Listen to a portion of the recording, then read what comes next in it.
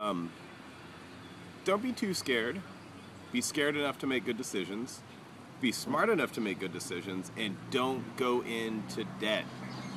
If you can't pay for it out of pocket, don't do it. There's always a way. Like, oh well, I need this much money to build a kitchen. Maybe you don't need a kitchen. Maybe you just need to like piece it together a little bit at a time and just make it happen because you want it to happen. I think that's my only thing.